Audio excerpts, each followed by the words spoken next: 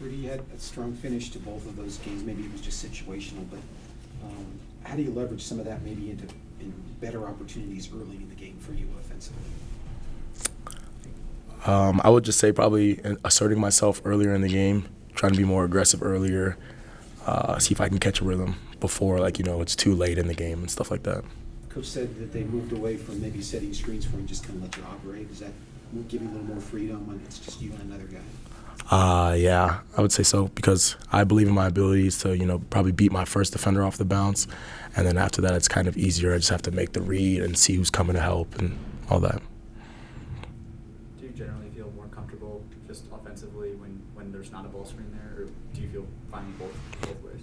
Uh, I feel fine with both, but, you know, kind of when you're just going one on one with the guy, you uh, it's easier to make a read because then you know who's coming from what side and stuff. Ball screen, the defense is usually in a scramble, so it just makes it a little harder to make a read.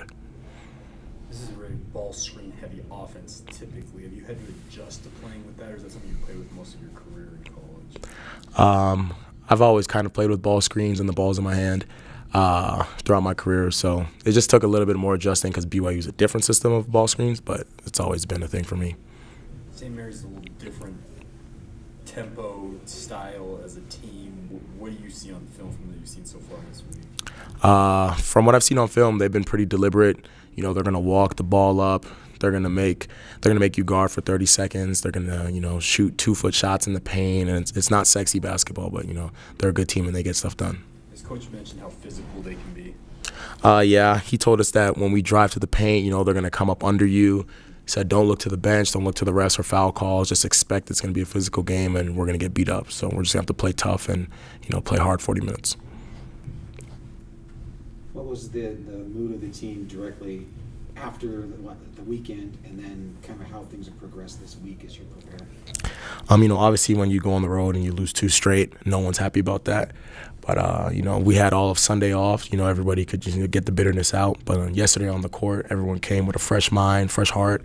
We had a good day of yesterday's practice, and then I feel like we had another good day as well today. So you know, guys are kind of just looking forward. You know, kind of just kick that under the rug this past weekend and uh, get ready for Saturday. Is there anything you guys can do to, I guess, get more consistency in the three-point shot, if that makes sense? Um, I would just say probably getting easier looks for us. You know, getting when we have guys exhausting rotation, extra passes, hockey assists, stuff like that. You know, just we're e shooting easier shots. Corner threes and like, that type of stuff. Yeah. Okay.